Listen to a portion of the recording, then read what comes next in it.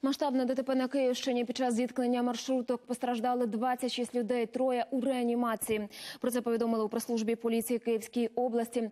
Зазначається, що, що аварія трапилася близько 10 ранку в місті Боярка. Зіткнулися автобуси Мерседес, Шкода та Богдан. Як наслідок, 26 людей зазнали травми різного ступеня важкості. Їх госпіталізували. Троє у реанімації в тяжкому стані. За фактом ДТП відкрито кримінальне провадження.